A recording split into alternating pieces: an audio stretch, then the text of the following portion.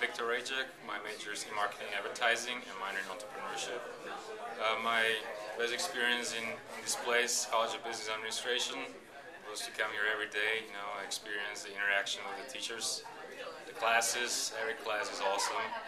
Uh, the teachers are great. The students, you know, are co cooperative, and it's a really great place to stay here and go here to, to school. And uh, you know, this is my day to graduate. So one day, hopefully, you'll too.